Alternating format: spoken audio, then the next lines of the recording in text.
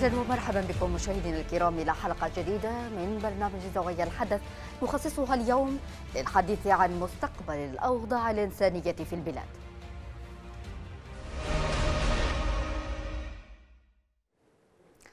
قالت منسقة الشؤون الإنسانية في اليمن ليز جراندي أن الأمم المتحدة ستخفض أو تغلق 31 برنامجا للمساعدات الإنسانية.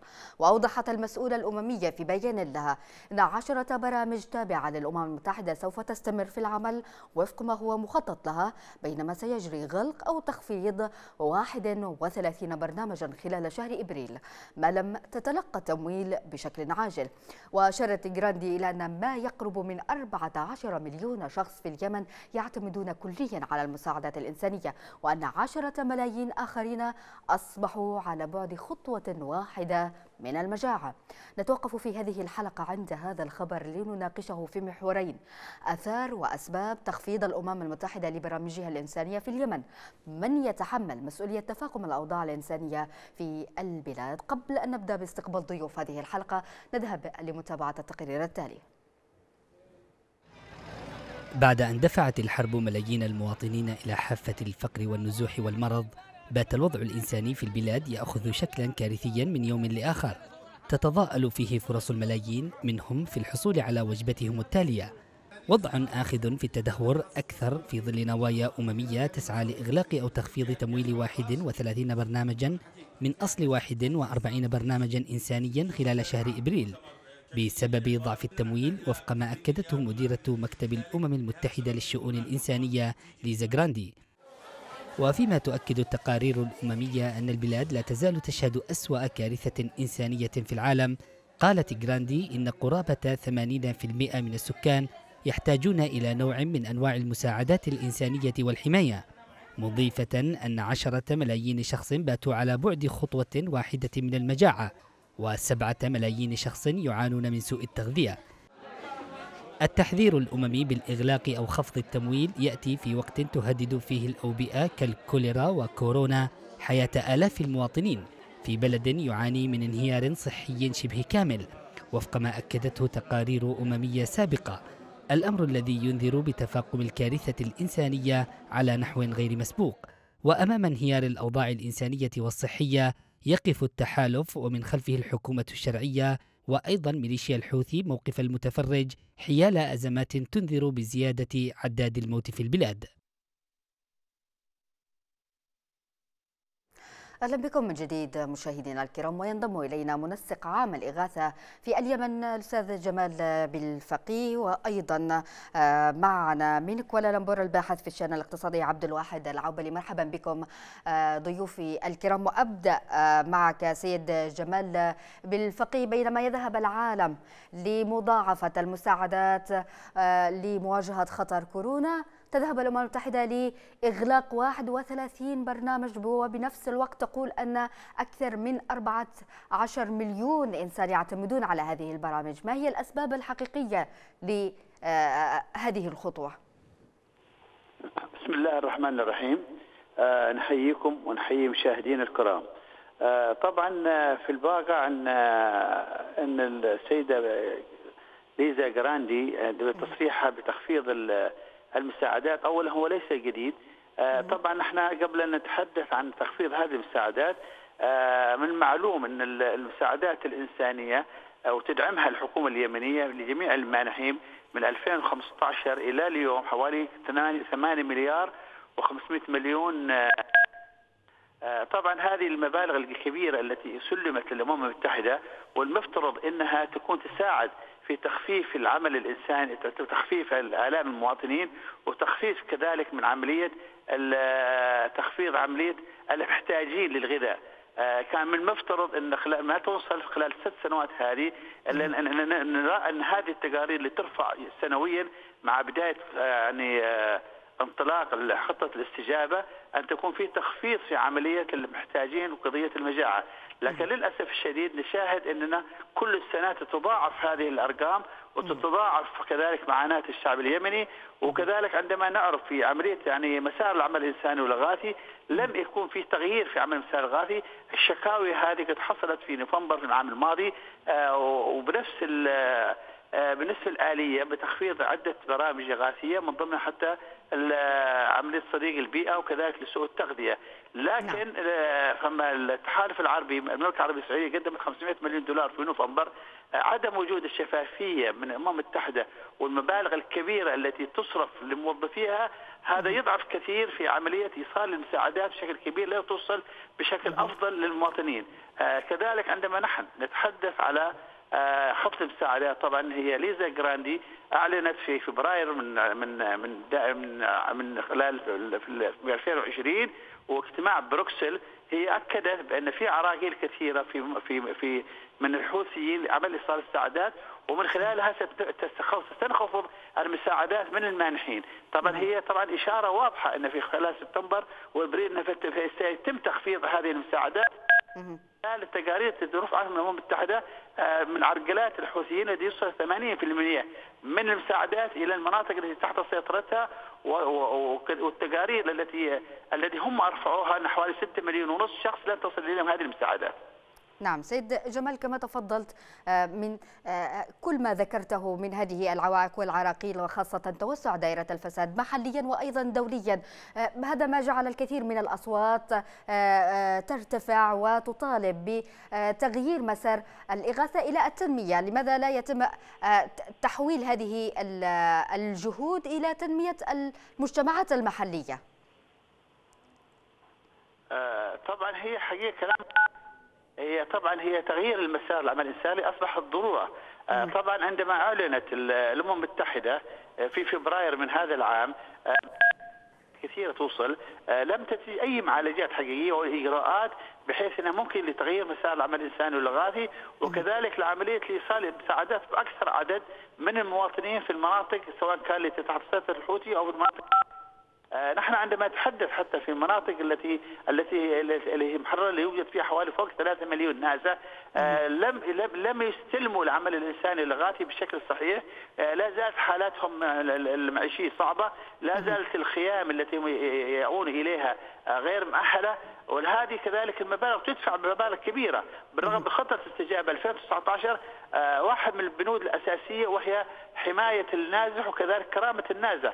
ولهذا الشيء يجب أن تكون في وقفة وفي رقابة ومتابعه وتقييم ويكون في شراكه حقيقية مع التحالف العربي والمانح الأصلي والأساسي للمنظمات الدولية والحكومة اليمنية متمثلة باللجنة العليا للاغاثه، لكن نعم. هي دائما هم بيعملون خارج نطاق خارج السرب الحكومة اليمنية فهم بيعملوا لأنفسهم بحبس شركاء خاصين وهم بيقدموا شكواهم لكن لم تقدم معالجات حقيقية من أجل نحن بالنسبة في الحكومة اليمنية وفخامة الرئيس ودولة رئيس الوزراء في أي خطة استجابة آه، بيدعموا آه، بشكل كبير آه، خطة الاستجابه وكذلك لإيجاد الأموال للامم المتحده للتخفيف عن الشعب اليمني، لكن نعم. هلا المسؤولية هم يتحملوها بشكل كبير انه يجب أن يكون فعلا في تنسيق ولازم يكون في شفافية ولازم إيصال المساعدات لأن هم هم الامانه ويجب إيصالها للمواطنين.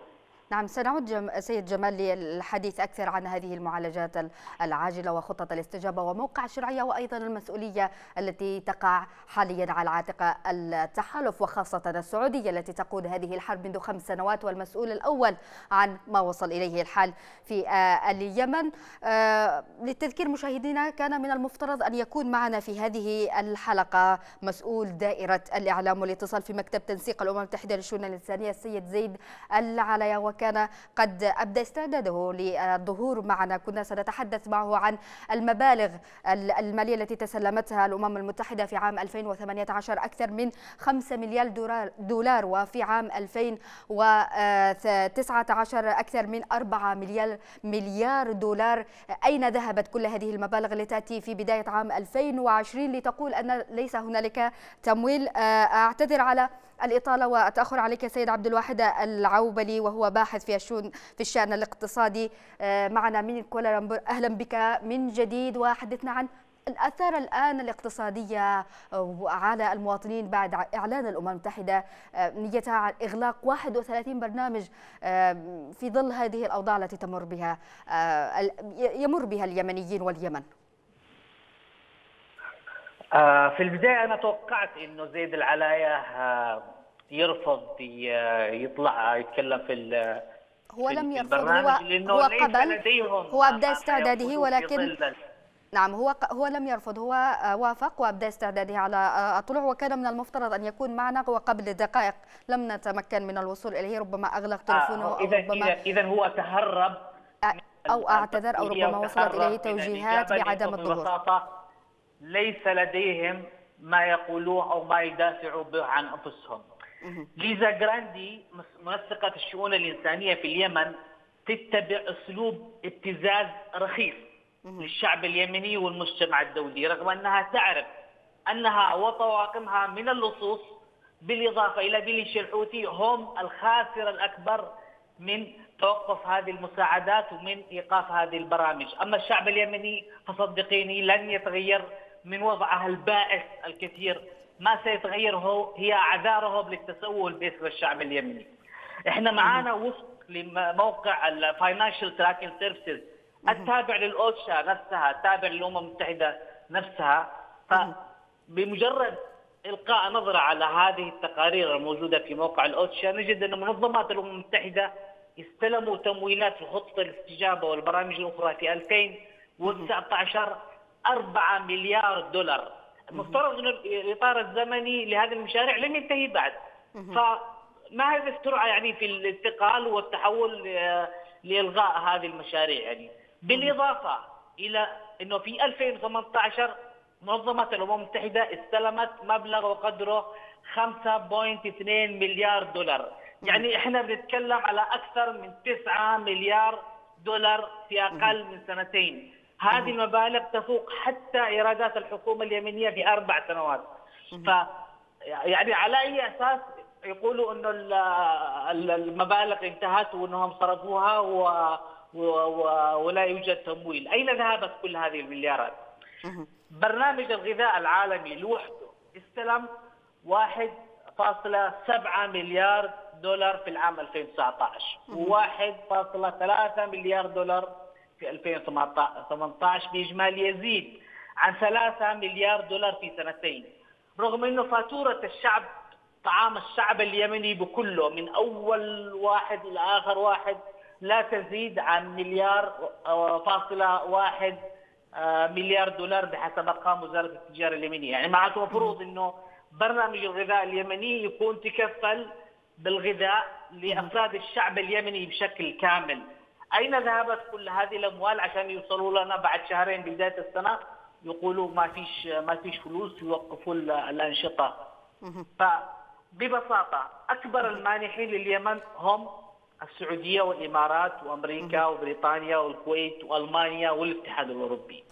كل هؤلاء المانحين لديهم منظماتهم الخاصة بهم والتي تستطيع أن تنفذ مشاريعهم و وتوصل مساعداتهم إلى اليمن ومنظماتهم موجودة ولها تمثيل داخل اليمن. ولا يحتاجوا للمرور عبر مؤسسات الأمم المتحدة التي تلتهم الجزء الجزء الأكبر من مبالغ المساعدات.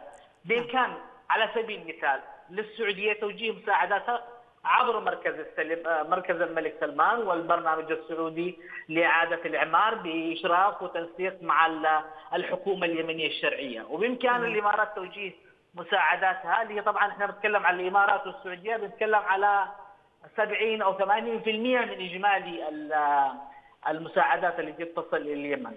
فبإمكان ان ان يتم توصيل المساعدات وتنفيذ المشاريع عبر مشاريعهم ويتم الاستغناء تماما عن عن منظمات الأمم المتحدة لأنه لا حاجة لها نهائيا وأنا أشوف إنه من الأفضل التوجه نحو هذا هذا الخيار.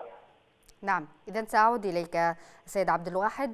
أعود إليك سيد جمال آه، بالفقي كنت تحدثت عن ضرورة آه، توجه آه، الحكومة الشرعية بمساعدة التحالف لعمل معالجات عاجلة وخطة استجابة. ما هي هذه المعالجات التي يجب على الحكومة التوجه إليها؟ وأيضا ما هي المسؤولية الواقعة على عاتق الآن التحالف وخاصة السعودية؟ طبعا هي الحكومة الشرعية واللجنة العليا للإغاثة آه، الوهلة الأولى من عملية في الست شهور الأولى آه، قدمت آه، ما هي الانتهاكات وما هي العراقيل التي تعرقل العمل الانساني والغاثي في المناطق التي تحصلت الحوثي. وتم تم إبلاغ المسؤوله من ضمنها منسقه الشؤون الإنسانية ليزا جراندي. طبعا اقترحت الحكومة اليمنية في خطة استجابه 2018 أن تتحول العمل الإنساني والغاثي لخمسة مراحل حسب حسب الامتداد الجغرافي لكل محافظة. فمثلا محافظة عدن تشمل عدن وتعز والبيضاء وإقليم عدن بشكل عام. حضرموت إقليم حضرموت مارب لكن للأسف الشديد لا زالت العمل الغاثة توصل لمحافظه تعز عن طريق عن طريق الحديدة ومنها إلى اب وتتم فيها انت وتتم عرقلتها وعدم وصولها. آه كذلك بعض المناطق التي تحت سيرته سيطرتهم. يوجد 22 منفذ بري وبحري غير من الحديدة. ممكن باستطاعه الامم المتحدة بشركاء الحكومة اليمنية أن تجيب العمل الانساني الغاثي عن طريقها لإيصال المساعدات لجميع جميع المستحقين عبر شركاء اللجنة العليا للاغاثه نحن عندما نجد الإغاثة التي توصل بشكل كبير إلى المناطق التي تحت سيطرة الحوثي لكن توجد إلى ذلك توجد المجاعة وتوجد الانتهاكات وتوجد عدم وصول الاغاثات في المناطق المحررة لا توجد. طبعا بدعم كبير الشكر الجزيل للتحالف العربي اللي هو دائما هو يقوم ببرامج إغاثية مستمرة في المناطق المحررة ولهذا هو ساعد بشكل أكبر لعملية التخفيف من معاناة المواطنين في المناطق المحررة. نحن نحن كذلك نتكلم على ان الأمم المتحدة طالما هي خلال فترة 2019 الفترات الأخيرة بدأت تشكو بعملية عدم إيصال الإغاثات يجب تغيير مسار في المناطق التي هي لها مناسبة. سواء كان في حضرموت سواء محافظة عدن هي بشكل أساسي بوجود الحكومة الشرعية داخل عدن لإيصال المساعدات وعمل البرامج بالتنسيق. التحالف العربي يقدم حوالي نصف مبالغ خطة الاستجابة. يجب يكون في رقابة ومتابعة أين تروح هذه المبالغ المالية. نحن عندما تتكلم ليزا جراندي بتخفيض البرامج يعني يجب قبل تتكلم بتخفيض البرامج على الشعب اليمني والذي دفعت مبالغها بشكل أكبر في 2019 و 2018 يجب تخفيض مصاريفهم الذي توصل فوق ال 40% ميزانية تشغيلية و15% ميزانية إدارية، فهذه الأشياء التخفيضات هي بتساعد عمل هي في الأخير هي جاءت من أجل تخفيف المعاناة على الشعب اليمني، ليس جاءت من أجل ان ان يعني يعني ان, أن هو يصرف على المنظمات الدولية وعلى وعلى موظفيها من أموال الشعب اليمني الذي لا توصل إليها إلا الفتات، وفوق هذا كله توجد فيها عراقيل، يجب أن يكون فعلا في توجد في عملية تنسيق ويوجد فيها في شفافية في العمل وأجل هذا الألف الأخير هو عمل إنساني إيصال المساعدات لجميع المواطنين ومعرف ما هي الخلل ما هو الخلل فيه ويجب إصلاح هذا الخلل. ليس عملية عملية التهديد عملية عدم إيصال المساعدات ويعيد الشعب اليمني بمعاناته أكبر. نعم إذا سيد جمال بالفقيه منسق عام الإغاثة في اليمن. شكرا جزيلا لك عودة إليك سيد عبد الواحد العبلي لعلك استمعت لحديث سيد جمال التي تطرق إلى العديد من العوائق والصعوبات والأداء والعراقيل التي تعيق العمل الإنساني في اليمن وربما قد تكون هي جزء من أسباب عرقلة العمل الإغاثي في اليمن والدعم الإغاثي للبرامج الخاصة بالإغاثة في اليمن كيف يمكن تجنب كل ذلك بتغيير آلية العمل الإغاثي؟ الأستاذ جمال الفقيه طلب أنه منظمات الأمم المتحدة تغير مسارها وتغير نهجها بطريقة التعامل مع مع عملية توزيع المساعدات وتنفيذ المشاريع الخاصة بهم داخل اليمن. لكن أنا أرى أنه لا, لا, لا, لا ليس هناك فائدة من تجريب المجرب. نحن نجرب منظمات الأمم المتحدة طوال خمس سنوات نهبوا فيها زي ما هو ذكر أكثر من 8 مليار ونصف دولار يعني. ما يحتاج إن إحنا نزيد نجربهم. أنا أرشح وأفضل إنه العمل يعني أن يتم إلغاء العمل تماما مع كل منظمات الأمم المتحدة والتحول عبر منظمات المنظمات الخاضعة لأكبر مانحين داخل لليمن اللي هم السعودية والإمارات عبر مركز الملك سلمان والهلال الأحمر مع إخضاع كل هذه العمليات لشفافية كاملة ورقابة مجتمعية ورقابة حكومية وأن تخضع كل المشاريع لل لل للمساءلة وأن يتم نشر التقارير المالية والفنية المدققة لكل الأعمال وأن يتم التشارك مع مؤسسات الدولة الشرعية آه، لتنفيذ لتنفيذ المشاريع وتوجيه. آه، جزء كبير من هذه الأموال نحو مشاريع التنمية التي بإمكانها أن تخلق استدامه وبالتالي مع مرور الوقت يستطيع اليمنيين أن يستغنوا عن استلام استلام مساعدات كما هو حاصل من خمس سنوات، نحن من خمس سنوات بنصرف في السلع الغذائية وهذه السلع الغذائيه بتنتهي بينما كان بالإمكان باستخدام هذه الموارد ان يتم عمل مشاريع زراعية وصناعية وتجارية نعم. لخلق لخلق فرص عمل وخلق إيرادات للمواطنين وتحسين مستوى الاقتصاد بشكل عام ف نعم. استمرار التعامل مع الأمم المتحدة لا يخدم أحد والأفضل أن يتم تغيير المسار بشكل كامل وجذري تحت إشراف الحكومة اليمنيه ووفق لما تستدعيه الحاجة وبناء على المستفيدين والمحتاجين على أرض الميدان. الآن السؤال الذي يخطر على بال الجميع سيد عبد الواحد إذا فعلا تم إغلاق 31 كما أتى في آه، بيان جراندي برنامج للمساعدة في اليمن كيف ستكون عواقب ذلك أثار هذا التخفيض على الوضع الإنساني في اليمن باختصار؟ أكثر من سيتأثر من آه، من إغلاق هذه المشاريع هي ليزا جراندي وفريقها في الأمم المتحدة. هم الخاسر الأكبر وبجوارهم مجموعة المجموعة المستفيدة منهم في ميليشيا الحوثي. هؤلاء هم الخاسر الأكبر من هذه من إغلاق هذه المشاريع. أما الشعب اليمني فهو آه، فعليا في وضع وحالة مزرية جدا. ولن يزيده الطين آه، ولن يزيده إغلاق هذه المشاريع أي أي أي معاناة. فهو أصلا في معاناة جاهزة وحاصلة يعني. فلا أنا أقلل أقلل و أصغر من مقدار الأثر الذي ممكن تحدثه إغلاق هذه إغلاق هذه المشاريع. نعم أضيف إلى ذلك سيد عبد الواحد الجهات المحلية التي تقوم بنهب هذه المساعدات وبيعها والاستفادة الحقيقية آه، منها. إذا آه، سيد عبد الواحد العوبلي شكرا جزيلا لك. إذا مشاهدينا الكرام بهذا نكون وصلنا إلى نهاية هذه الحلقة. لا يسعني بالأخير إلا أن أشكر ضيوفي. كان معي جمال بالفقيه المنسق العام للإغاثة في اليمن وكان معي الباحث في الشؤون الاقتصادية عبد آه، عبد الواحد العوبلي. شكرا على المتابعة والشكر ولزميلي معد هذه الحلقة الزميل عبد الرقيب الأبارة. إلى اللقاء.